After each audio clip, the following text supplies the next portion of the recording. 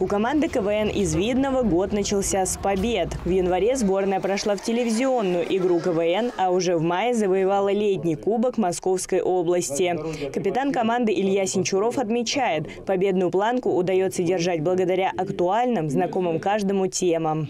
Тема в основном э, то, что сейчас происходит э, в мире, это санкции, это послевыборная какая-то тематика, это летние каникулы для детей, школа, институт.